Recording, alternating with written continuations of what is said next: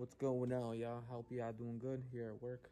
So, city ain't playing, man. The police over there ain't playing NYPD. Cause you know how these Orthodox Jews, they're always con congregating and shit with fucking groups and partying and stuff.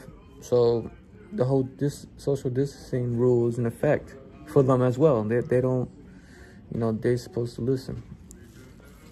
All right. Hey, so um, NYPD has the um the hose ready. It's just spraying them, spraying them all with.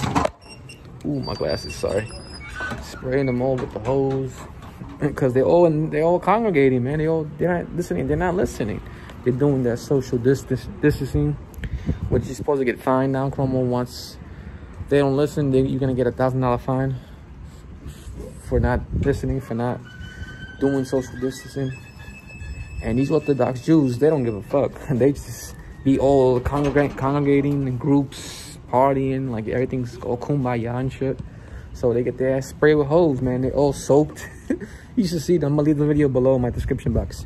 Y'all can check this shit out. Is these Jews were like, they don't care. Like they're just jumping, excited. Like they just like their gatherings, but they're not understanding that, yo, COVID-19 is not gonna go anywhere if you keep doing that. You know, you're gonna keep getting, you know, people sick. People are gonna keep getting the virus because y'all just not listening. Y'all, keep doing the social distancing, man, and that helps. Listen, man, use your head and get right, man. I'll leave the video below so y'all can check it out yourselves, man.